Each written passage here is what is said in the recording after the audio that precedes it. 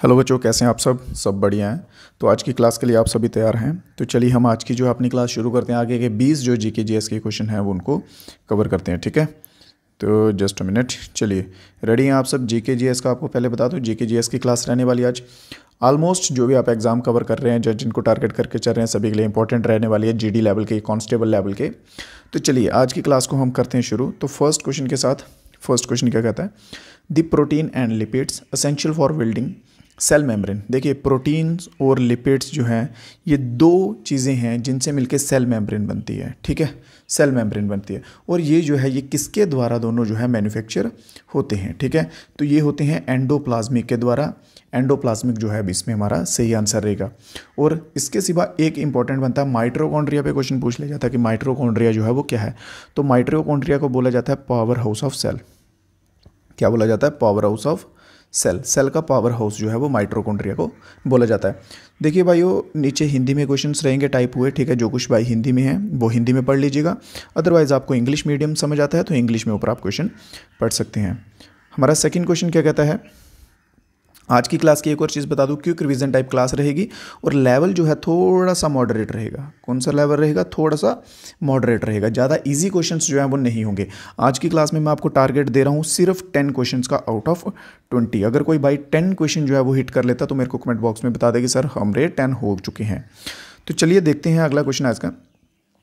माहिर करके, ठीक है देखिए एक माहिर मिशन था एक, ठीक है? वो लॉन्च किया गया था, वो किसके रिलेटेड था? इंडियन गवर्नमेंट के द्वारा भारतीय सरकार उन्नत और उच्च प्रभाव अनुशासन, अनुसंधान माहिर पर मिशन शुरू कर रही है, ठीक है? जिसका कि संबंध जो है वो किससे है? सिंपल माहिर का संबंध किससे है? ये एक मिशन है इंडियन गवर्नमेंट के द्वारा शुरू किया गया हुआ, ठीक है? तो इसका संबंध जो है ये किससे? ये पावर इंडस्ट्री से रिलेटेड है, किससे? पावर इंडस्ट्री से संबंधित है माहिर। याद रखिएगा सभी बच्चे, ठीक है? माहिर किससे है? पावर इंडस्ट्री से रिलेटेड चलिए नेक्स्ट क्वेश्चन देखते हैं। प्रधानमंत्री ग्रामोदय योजना। प्रधानमंत्री ग्रामोदय योजना जो है, वो कब शुरू की गई थी? किस वर्ष में जो है, वो शुरू की गई थी? सभी दोस्त जो हैं साथ साथ में कमेंट बॉक्स में अपने जो है, वो आंसर देते जाएँगे, ठीक है?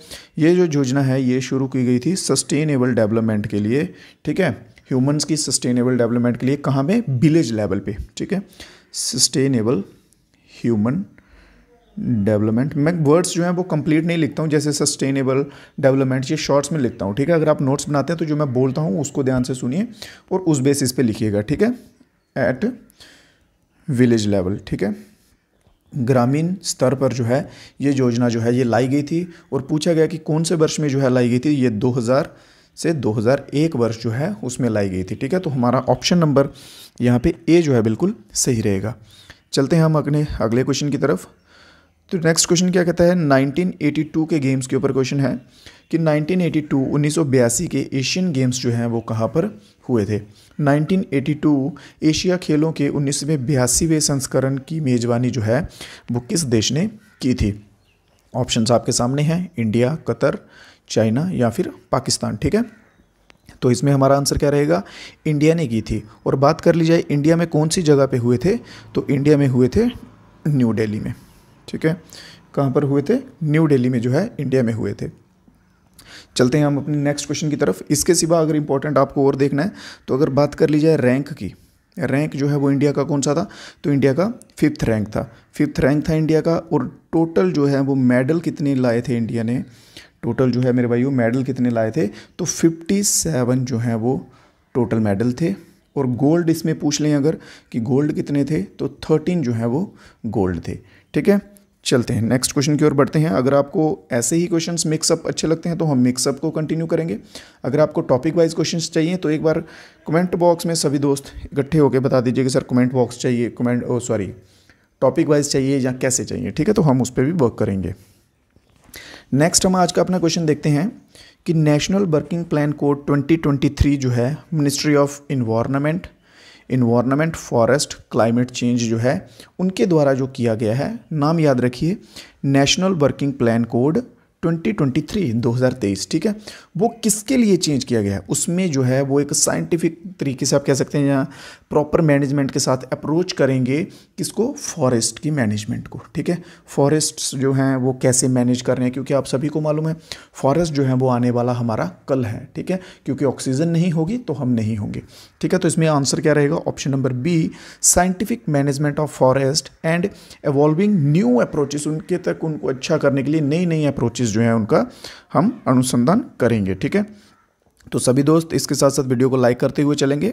तो बढ़ते हैं हम अपने नेक्स्ट क्वेश्चन की ओर। Identify the explorer who is generally credited as the first person to reach the North Pole देखिए, यहाँ से क्वेश्चन बनते हैं दो। एक तो उन्होंने पूछ लिया नॉर्थ पोल का, और मोस्टली जो क्वेश्चन है वो पूछा जाता है, क्या पूछा जाता है? साउथ पोल का, ठीक है? नॉर्थ पोल पे जो है वो कौन सा व्यक्ति गया था, और साउथ पोल पे जो है वो कौन सा व्यक्ति गया था? ये दो पोल हैं, ठीक है? तो बात कर लेते हैं हम सबसे पहले नॉर्थ पोल की, ठीक है? फिर उसके बाद हम करते हैं साउथ पोल की। तो नॉर्थ पोल पे गए हैं रॉबर्ट पेरी, ठीक है? रॉबर्ट पेरी जो है, ये पहले व्यक्ति हैं जो नॉर्थ पोल पे गए हैं। और अगर हम बात करें कि हमारे भारत से जो है, पहला भारतीय कौन गया है नॉर्थ पोल पे तो अजीत बजाज, ठीक है? अजीत बजाज जो हैं, ये गए हैं भारत से पहले। और ये कब गए थे? 1965 में जो है, अजीत बजाज जो है, वो नॉर्थ पोल पे गए थे। इसके सिवा अब हम देखते हैं साउथ पोल का कि साउथ पोल पे जो है, वो पहले व्यक्ति कौन गए हैं? तो साउथ पोल पे पहले व्यक्ति गए हैं रोल्ड अमंडसन, ठीक है? रोल्ड अमंडसन जो हैं, ये पहले व्यक्ति हैं, ठीक है? जो साउथ पोल पे गए थे। क्लियर है आप सभी को? किसी दोस्त को कोई क्वेश्चन में अगर कोई डाउट रह जाता है तो डेफिनेटली जो है आप कमेंट बॉक्स में बता दीजिएगा कि सर ये क्वेश्चन समझ नहीं आया या इसमें कोई प्रॉब्लम है तो आपको आंसर उसका मिल जाएगा। नेक्स्ट क्वेश्चन है a medical condition in which a person can see the near object clearly हाँ तो क्वेश्चन में क्या कहा गया है कि एक व्यक्ति है, उसको पास की चीज़ें जो हैं, ठीक है? पास की चीज़ें जो हैं नियर वाई चीज़ें जो हैं वो उसको क्लियर दिखती हैं बट जो दूर की चीज़ें हैं, वो उसको ख़राब दिखती हैं। वो उससे ब्लरी ब्लरी दिखता है तो उसे भाई कौन सी बीमारी होगी, ठीक है? और सॉरी कौन सी बीमारी है? हाँ एक होती है मायोपिया एक होती है हाइपरमाइट्रोपिया ठीक है? तो इसका हम इलाज जो है वो कैसे बताएँगे? देखिए, जिसकी दूर की नज़र ख़राब हो, जिसको दूर का चना दिखता हो, उसे होता है मायोपिया ठीक है? उसे क्या होता है? मायोपिया और जिसका पास का ख़राब हो, उसे क्या होता है? हाइपरमाइट्रोपिया ठीक है? उसे क्या होता है? हाइपरमाइट्रोपिया। समझ आ गया यहाँ तक? कोई डाउट तो नहीं? और एक कैटरैक्ट जो है, एक इस बीमारी को मेंशन करके पूछ लिया जाता है बहुत से क्वेश्चन में कि ये कौन सी बीमारी है? इसमें क्या होता है? ये एज के साथ आती है। जैसे ही आपकी एज जो है वो बढ़ती जाएगी, ठीक है, बढ़ती जाएगी। तो उसके साथ क्या होता है? आँखों के ऊपर जो है वो ब्लरी ब्लरी सी आपने देखा होगा, जो ग्रैंड पेरेंट्स होते हैं हमारे घरों में, उनकी आँखों के ऊपर ब्लरी ब्लरी जैसा एक पर्दा जैसा आ जाता है, जिससे ब्लर दिखने लग पड़ता है, ठीक है? जिससे क्या दिखता है? ब्लर ब्लर दिखता है। तो वो होती है कैटरैक्ट तो यहाँ पर हमारा आंसर जो है वो सही कौन सा रहेगा? ऑप्शन नंबर बी मायोपिया जो है, जिस बंदे को दूर की नज़र खराब हो, उसको मायोपिया की बीमारी होती है। क्लियर है यहाँ तक सभी को? नेक्स्ट है तुशु एक हार्वेस्ट फेस्टिवल है, जो कि झारखंड में मनाया जाता है। यहाँ तक इन्होंने क्लियर कर दिया कि तुशु एक झारखंड का फेस्टिवल है, हार्वेस्ट फेस्टिवल है। सर्दियों के दिनों में मनाया जाता है और किस महीने के लास्ट में मनाया जाता है, ठीक है? और यहाँ पे इन्होंने जो है इंग्लिश मंथ नहीं पूछा है, जो हम नॉर्मली जो यूज़ करते हैं, वो इंग्लिश मंथ होते हैं जनवरी फेबररी मार्च अप्रैल ये इंग्लिश मंथ हैं, ठीक है? यहाँ पे इन्होंने पूछा है कौन से? देसी महीने जिन्हें हम कहते हैं, फग्गन, माघ, चैत्र, पोष, ठीक है? ये होते हैं देसी मंथ। नॉर्मली जो हमारे ओल्ड जो हमारे एंसेस्टर्स थे, ठीक है, वो इन्हें यूज़ करते थे। तो यहाँ पे यही पूछा गया कि बताइए जो तुशु फेस्टिवल है, वो देसी महीनों के अकॉर्डिंग कौन से महीने में मनाया जाता है, ठीक है? तो ये मनाया जाता है पोष, ठीक है? तो ऑप्शन नंबर डी जहाँ पे हमारा बिल्कुल सही रहेगा। पोष जो है ऑप्शन नंबर डी ये सही रहेगा। और ये किन के ऊपर डेडिकेट होता है? ये स्पेशली होता है किन के लिए? अनमेरिड गर्ल्स के लिए। ठीक है? अनमेरिड गर्ल्स जो है, इनमें मोस्टली पार्टिसिपेट करती हैं और ये उन्हीं को डेडिकेट होता है, ठीक है? पोष के महीने में मनाया जाता है। तो चलते हैं हम अपने आज के नेक्स्ट क्वेश्चन के ऊपर। अगला क्वेश्चन क्या कहता है? Which among the following dance form was originally performed in temple of Tamil Nadu ठीक है? जिसे देवी दासा और दसी अत्तम के नाम से भी जाना जाता है, ठीक है? वह कौन सी डांस फॉर्म है? तमिलनाडु की यहाँ पे बात की है तमिलनाडु के मंदिरों में की जाती है, जिसे देवी दासा या फिर आप कह सकते हैं दसी अत्तम के द्वारा भी जाना जाता है। वो कौन सी डांस फॉर्म है? जल्दी से। कुचिपुड़ी कहाँ का भाई? कुचिपुड़ी कहाँ का है? आंध्रा का। भारतनाट्यम कहाँ का है भाई? भारतनाट्यम तमिलनाडु का। मणिपुरी कहाँ का है? मणिपुर का। ठीक है? ओडिसी कहाँ का है? ओडिशा का। सिंपल अगर आपको क्लासिकल डांस का मालूम होगा कि कौन सा क्लासिकल डांस जो है, वो किस स्टेट से है तो आप नॉर्मली इसका आंसर देने के योग्य हो जाएँगे, ठीक है? तो भारतनाट्यम तमिलनाडु का है तो बिल्कुल सही आंसर हमारा रहेगा भारतनाट्यम ऑप्शन नंबर बी बढ़ते हैं इसी के साथ नेक्स्ट क्वेश्चन की तरफ़। यहाँ पे बात की गई है 2011 के सेंसस की, ठीक है? सेंसस हाँ जनगणना, बिल्कुल। तो सेंसस होता है, हिंदी में उसे हम कहते हैं जनगणना, ठीक है? 2011 की जनगणना के अनुसार भारत में निम्नलिखित केंद्र शासित, यहाँ पे यूनियन टेरिटरीज की बात की गई है, ठीक है? केंद्र शासित प्रदेशों में से किसमें प्रति वर्ग किलोमीटर जनसंख्या घनत्व सबसे कम था? डेंसिटी घनत्व क्या होता है मेरे भाइयों? डेंसिटी ठीक है? क्या होता है? डेंसिटी सबसे कम डेंसिटी जो है वो कौन सी यूनियन टेरिटरीज में थी? इनमें से, ठीक है? चलिए, इसी के साथ साथ यूटी इन्होंने पूछा है स्टेट्स का हम बता देंगे आपको, ठीक है? तो यूनियन टेरिटरी की बात करें, अगर सबसे कम वाला जो है, ठीक है, वो रहेगा हमारा अंडमान एंड निकोबार। इसमें क्या थी? सबसे कम, एक मिनट, सबसे कम लो जो है वो किसमें है? अंडमान और निकोबार में। अगर बात करें हाई की तो हाई किसमें है? दिल्ली में। ठीक है? दिल्ली यूनियन टेरिटरी जो है, वहाँ की डेंसिटी डेंसिटी होती क्या है कि कितनी कम जगह में जो है, कितने ज़्यादा लोग रह रहे हैं। मान लीजिए, एक किलोमीटर के अंदर एक जगह है, अंडमान निकोबार में एक किलोमीटर के अंदर रहते हैं पचास लोग और दिल्ली में एक किलोमीटर के अंदर रहते हैं पाँच सौ लोग, ठीक है? तो वो होता है घनत्व, घना। तो दिल्ली में जो है, वो ज़्यादा डेंसिटी है। अगर इसके सिवा हम बात करें स्टेट्स की तो हाई डेंसिटी जो है, वो किस स्टेट में है और लो डेंसिटी जो है, वो किस स्टेट में है? हाई डेंसिटी आ जाएगी बिहार में। कहाँ आएगी? जस्ट अ मिनट एक मिनट हाई डेंसिटी जो है हाई डेंसिटी वो कहाँ आ जाएगी? बिहार में. बिहार में जो है, वो डेंसिटी हाई रहेगी. और अगर स्टेट्स वाइज बात कर ली जाए कि लो डेंसिटी जो है, सबसे कम घनत्व जो है, वो कौन से स्टेट में रहेगा? ठीक है? तो जल्दी से आंसर आने दीजिए उसका.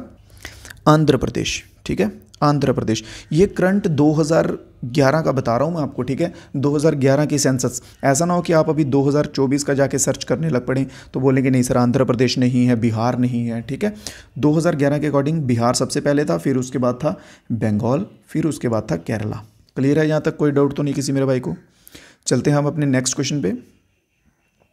चलिए आइडेक्स करके, ठीक है, एक समझौता जो है, संधि जो है, एक साइन हुई थी, ठीक है, टेटिकल लैंड रेडियो के रिलेटेड जो है, वो किस फोर्स के द्वारा जहाँ किस आर्म्ड फोर्सेस के द्वारा नॉर्मली की गई थी? क्या वो इंडियन आर्मी के द्वारा की गई थी, नेवी के द्वारा एयरफोर्स या फिर कोस्ट गार्ड के द्वारा, ठीक है? तो ये आइडेक्स करके एक संधि है, समझौता है, ठीक है, वो इंडियन आर्मी के द्वारा किया गया था। किसके द्वारा किया गया था? इंडियन आर्मी के द्वारा किया गया है। चलते हैं अपने नेक्स्ट क्वेश्चन पे। सी एफ़ एंड्रियो की बात की गई है यहाँ पे। सी एफ़ एंड्रियो के द्वारा कौन सी बुक जो है इनमें से लिखी गई है? सी एफ़ एंड्रियो के द्वारा कौन सी बुक लिखी गई है? तो सी एफ़ एंड्रियो के द्वारा लिखी गई है मेरे भाइयों कौन सी? इंडियन ठीक है? भारतीय पूर्ण जागरण रेनिसेंस होता है पूर्ण जागरण, ठीक है? तो भारतीय पूर्ण जागरण ऑप्शन नंबर ए इसमें हमारा बिल्कुल सही रहेगा, जो कि इनके द्वारा लिखी गई है। इसके आगे फुल नेम जो है इसका आगे, इसके आगे लगेगा it's missionary aspect missionary aspect ठीक है? ये इसका, इस बुक का जो है, ये फुल नेम है। Indian renaissance it's missionary aspect जो कि लिखी गई है सी एफ़ एंड्रयू के द्वारा। उम्मीद कर रहा हूँ आप सभी दोस्तों को क्वेश्चन समझ आ रहे होंगे क्लास समझ आ रही होगी, ठीक है? ट्रस्ट कीजिए क्लास अगर आप कर लेते हैं जीडी लेवल के कांस्टेबल लेवल के स्पेशली कह रहा हूँ, जितने एग्ज़ाम होंगे, आप इजीली जी के जी एस में जो जिन बच्चों को डर रहता है, जिन बच्चों को घबराहट होती है, वो आप आराम से जो है इसमें से कर जाएँगे, ठीक है? तो इसी के साथ बढ़ते हैं अपने नेक्स्ट क्वेश्चन की ओर। नेक्स्ट क्वेश्चन क्या कहता है? मोटो जीपी जो है, वो फ़र्स्ट टाइम इंडिया में हुए थे। ठीक है? लास्ट ईयर हुए हैं 2023 में। कब हुए हैं? 2023 में जो है, हुए हैं। इन्होंने पूछा कि उसमें बिनर का नाम बताइए। इसके सिवा आपसे एक और क्वेश्चन पूछ लेता हूँ कि कौन सी जगह पे हुए थे? ठीक है? कौन सी जगह पे हुए थे? वहाँ का चीफ मिनिस्टर जो है, वो है आदित्यनाथ जोगी। अब उस स्टेट का नाम बताइए, जल्दी से सभी बच्चे कमेंट में कि उस स्टेट का नाम क्या है? यहाँ पे ये मोटो जीपी जो है, वो हुए थे, ठीक है? तो जो बिनर रहे हैं, उसके मोटो जीपी के बिनर रहे हैं, वो कौन रहे हैं? तो बिनर रहे हैं मार्को, ठीक है? मार्को मार्को बिजिची, ठीक है? मार्को बिजिची जो है, ये फ़र्स्ट पोजीशन पे रहे हैं। इसके बाद बात की जाए सेकंड पे सेकंड वाले भी यहीं पे दिए हुए हैं, ठीक है? तो सेकंड पे रहे हैं जॉर्ज, ठीक है? जॉर्ज रहे हैं सेकंड पे और फैबियो रहे हैं थर्ड पोजीशन पे। क्लियर है यहाँ पे? मार्को का नाम याद रखिएगा, मार्को जो है वो फ़र्स्ट पोजीशन पे रहे हैं और इसमें इंडिया ने पार्टिसिपेट नहीं किया था। ठीक है? इंडिया ने जो है इसमें पार्टिसिपेट नहीं किया था। जल्दी से आंसर आने दीजिए, ये आपको होमवर्क है कि आदित्यनाथ जोगी जो है वो किस स्टेट के जो है सीएम हैं। चलते हैं नेक्स्ट क्वेश्चन के ऊपर। What was the real name of Mughal empire Mohammad Shah Rangila Mohammad Shah Rangila जो एक मुगल शासक थे, उनका ओरिजिनल नाम जो है वो क्या था? ठीक है, इनका टाइम पीरियड भी बताया वो यहाँ पे 1719 से लेके 1748 तक का जो है इनका टाइम पीरियड है। तो जल्दी से बताइए इनका जो है, ठीक है रियल नेम क्या था? तो इनका नाम था रोशन अख्तर। तो ऑप्शन नंबर सी जहाँ पे बिल्कुल सही होता हुआ दिखेगा। इसके साथ एक और मोस्ट इंपॉर्टेंट जो बनता है, वो बनता है जहांगीर का। जहांगीर का ऑलमोस्ट आपने देखा होगा, वो पूछ लेते हैं एग्ज़ाम में कि जहांगीर का नाम बताइए। तो जहांगीर को जाना जाता था किस नाम से? दूसरे नाम से? सलीम नाम से। क्लियर है यहाँ तक? सलीम नाम से जाना जाता था। अगले क्वेश्चन की ओर चलते हैं। Who among the following was the first Indian musician to receive Ramon Magsaysay award ठीक है रेमन मैगस्य अवार्ड भारतीय पहला संगीतकार कौन है जिसने ये प्राप्त किया था? ठीक है Ustad Allah Rakha, Lata Mangeshkar, Pandit Ravi Shankar, M S Subbulakshmi ठीक है? तो एम एस सुबह लक्ष्मी ऑप्शन नंबर सी जो है इसमें बिल्कुल सही आंसर रहेगा। एम एस सुबह लक्ष्मी के द्वारा रेमन मैगस्य अवार्ड जो है सबसे पहले जो है वो प्राप्त किया गया है। तो ऑप्शन नंबर सी जहाँ पे बिल्कुल सही रहेगा। मेरे भाइयों, अगर आपको क्वेश्चन समझ आ रहे हैं, वीडियो अच्छा लग रहा है, कंटिन्यू कर रहे हैं तो प्लीज़ साथ साथ में वीडियो को लाइक कर दीजिएगा, ठीक है? तो बढ़ते हैं हम इसी के साथ अपने नेक्स्ट क्वेश्चन पे। और substance that cannot be broken down into simpler substance इनमें से वह सब्सटेंस बताइए, ठीक है? जो कि टूटता नहीं है, एक सिंपल सब्सटेंस में नहीं टूट सकता, ठीक है? वो कौन सा सब्सटेंस है? वह पदार्थ जिसे सरल पदार्थों में नहीं तोड़ा जा सकता वह क्या है? ठीक है वह तत्व है वह विषम मिश्रण है, सजातीय मिश्रण है या यौगिक है? कंपाउंड एलिमेंट ठीक है, जल्दी से। सभी दोस्त साथ साथ में कमेंट बॉक्स में अपने आंसर देते जाया करें, ठीक है? तो इसका आंसर रहेगा ऑप्शन नंबर ए एलिमेंट जो है भाई वो नहीं टूट सकता, ठीक है? एलिमेंट को हम तोड़ के किसी दूसरे सब्सटेंस में सिंपली कन्वर्ट नहीं कर सकते, ठीक है? ना ही हमें इसे, हम इसे केमिकली केमिकली इंटर कन्वर्ट कर सकते हैं। इंटर कन्वर्टेड कर सकते हैं, ठीक है? और ना ही हम इसे सिंपलर सब्सटेंस में कन्वर्ट कर सकते हैं। क्लियर है यहाँ तक? चले अपने नेक्स्ट क्वेश्चन पे। तो नेक्स्ट क्वेश्चन क्या है? नेक्स्ट क्वेश्चन से पहले आपको बता दूँ व्हाट्सएप के ग्रुप का लिंक मेरे भाइयों डिस्क्रिप्शन में रहेगा। वहाँ पे आपको अपडेट जो है टाइमली लेटेस्ट इन्फो आप कह सकते हैं एक टाइप का, वो जो है वो मिलता रहता है। तो चलते हैं नेक्स्ट क्वेश्चन देखते हैं क्या है। Which of the following city is the most expensive city for expertise in India according to Mercer 2023? तो क्वेश्चन आपको समझ आ गया कि 2023 के मुताबिक उन्होंने पूछा भाई कि भारत में रहने के लिए सबसे ज़्यादा महँगा शहर जो है वो कौन सा है? सबसे ज़्यादा महँगा, ठीक है? कौन सा शहर है जहाँ सबसे ज़्यादा खर्च आता है? मुंबई, दिल्ली, बेंगलोर या फिर हैदराबाद, ठीक है? तो जल्दी से हमारा आंसर आने दीजिए। तो भाई बात की जाए सबसे महँगे शहर की तो मुंबई जो है भाई सबसे महँगा शहर है। अगर हम गाँव में, रूरल एरिया में चालीस पचास हज़ार रुपये सैलरी लेते हैं तो हम अपने आप को बहुत एक टॉप लेवल पे समझते हैं कि पचास हज़ार बहुत है, ठीक है? बट उसी की अगर हम कंपैरिजन करने लग पड़े मुंबई में तो मुंबई में चालीस पचास हज़ार रुपया कुछ नहीं होता मेरे भाई, ठीक है? तो मुंबई जो है सबसे मोस्ट एक्सपेंसिव जो सिटी बन जाएगा। और मुंबई के बाद दूसरे नंबर पे आ जाता है दिल्ली और तीसरे नंबर पे आ जाता है बेंगलोर ठीक है? ये टॉप थ्री सिटीज़ हैं जो इंडिया में सबसे ज़्यादा कॉस्टली हैं। चलें अपने नेक्स्ट क्वेश्चन पे आज के। अगला क्वेश्चन क्या कहता है? 1928 से लेकर 1956 तक जो है, ठीक है, लगातार कॉन्जिक्यूटिव का क्या मतलब होता है? लगातार ओलंपिक गोल्ड जो है, वो किसने जीते हैं, ठीक है? कितने मैचों में, ठीक है? तो छः गोल्ड आए हैं चौबीस में, ठीक है? क्लियर है? छः गोल्ड आए हैं कितने में? चौबीस में लगातार। और टोटल की बात कर ली जाए मेरे भाइयों टोटल कितने जीते हैं? तो टोटल जो है वो आठ गोल्ड हैं। कितने हैं? टोटल आठ गोल्ड जीते हैं। ठीक है? ये देखिए, हिंदी में पढ़ लीजिए अगर वहाँ से समझ नहीं आ रहा तो। 1928 से 1956 तक भारत ने हॉकी के खेल में लगातार जो है, डैश मैच जीतकर ओलंपिक स्वर्ण पदक जीते हैं। ठीक है? छः ओलंपिक स्वर्ण पदक जीते हैं 24 मैचों में से कंटिन्यू क्लियर हो गया? चलिए नेक्स्ट क्वेश्चन देखते हैं अपना। Which of the following book is not written by Ruskin Bond Ruskin Bond की मोस्ट इंपॉर्टेंट रहती हैं भाई। रस्किन बॉन्ड हो गया, फिर उसके सिवा हो गए ऋषि दे हो गए, ठीक है? ऐसे जो हैं इनकी बहुत इंपॉर्टेंट बुक्स हैं। तो बात करते हैं रस्किन बॉन्ड की, इनमें से कौन सी बुक जो है वो नहीं है।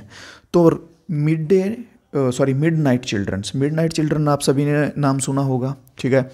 मुझे नहीं लगता कि ऐसा कोई बच्चा होगा, क्योंकि इसके ऊपर मैं बहुत बार क्वेश्चन जो है वो मिड नाइट चिल्ड्रन का करवा चुका हूँ। और जल्दी से आप सभी दोस्त मुझे बता दीजिए कि मिड नाइट चिल्ड्रन के जो है वो ऑथर कौन है? मिड नाइट चिल्ड्रन के ऑथर कौन है? लेखक कौन है? जल्दी से, ये आपका होमवर्क का क्वेश्चन है। दो क्वेश्चन हो गए आपके होमवर्क के, ठीक है? एक तो सीएम आदित्यनाथ जोगी जो है वो किस स्टेट के हैं? और दूसरा नंबर ऑथर कौन है? मिड नाइट चिल्ड्रन के। अगले क्वेश्चन की तरफ़ चलते हैं। आज की क्लास का हमारा लास्ट क्वेश्चन है मेरे भाइयों, ठीक है? और इसके बाद सभी दोस्तों को ईमानदारी से अपना स्कोर बताते हुए जाना है। कितना आया है? टेन का आज टेन क्वेश्चन दस क्वेश्चन का आज मैंने आपको टारगेट दिया था, क्योंकि क्लास जो है वो थोड़ी सी मॉडरेट रखी गई थी, ठीक है? तो आप सभी बताते जाइएगा। बात करते हैं यहाँ पे आज के लास्ट क्वेश्चन की। डॉक्टर सर्वपल्ली राधा कृष्णन जो है, वो pre peace prize award for the German book trade जो है, वो दिया गया था उनको, ठीक है? और बात की जाए तो वो कब दिया गया था? किस वर्ष में जो है वो दिया गया था उनको? ठीक है राधा कृष्णन को। आपको इनका रोल मालूम होगा, ठीक है राधा कृष्णन जो है वो वाइस प्रेसिडेंट भी रह चुके हैं और प्रेसिडेंट भी रह चुके हैं, ठीक है? क्या क्या रह चुके हैं? वाइस प्रेसिडेंट और प्रेसिडेंट दोनों की जो है ये भूमिका निभा चुके हुए हैं, ठीक है? क्लियर है यहाँ तक? एक चीज़ और पाँच सितंबर फिफ्थ ऑफ़ सितंबर 1888 को जो है वो टीचर्स डे जो है पाँच सितंबर को मनाया जाता है। वो किसके डे पे मनाया जाता है? इनके बर्थडे के रूप में, ठीक है? इनके बर्थडे के रूप में जो है ये टीचर्स डे जो है वो मनाया जाता है। ये इन्हीं को डेडिकेट किया जाता है, ठीक है? राधा सरपल्ली जो कृष्णन हैं, ठीक है? सॉरी राधा कृष्णन जो हैं, ये इंडिया के फ़र्स्ट वाइस प्रेसिडेंट रह चुके हैं और सेकेंड प्रेजिडेंट प्रेसिडेंट कितने नंबर के? दूसरे प्रेसिडेंट और पहले वाइस प्रेसिडेंट रह चुके हैं। क्लियर है? यहाँ तक किसी भाई को कोई डाउट रहा हो क्लास की आज आज की क्लास में तो आप बता सकते हैं। ठीक है मेरे भाइयों, आज की क्लास जो है, इतने ही क्वेश्चंस थे, क्लास ख़त्म हो चुकी है। एक आपसे रिक्वेस्ट है कि लाइक कर दीजिएगा वीडियो को, और हो सके तो अपने दोस्तों के साथ भी आगे शेयर कीजिए जो तैयारी कर रहे हैं। और अगर इसके सिवा कोई डाउट हो, कोई क्वेरी हो तो आप कमेंट बॉक्स में बता सकते हैं और डिस्क्रिप्शन बॉक्स में लिंक दिए रहेंगे व्हाट्सएप ग्रुप के तो वो भी आप ज्वाइन कर सकते हैं। तो मिलेंगे नेक्स्ट वीडियो में इसी तरह के और अच्छे क्वेश्चन से आपकी तैयारी की ओर जो आपको लेके जाएँगे। तो तब तक के लिए दीजिए इजाज़त। जय हिंद, जय भारत।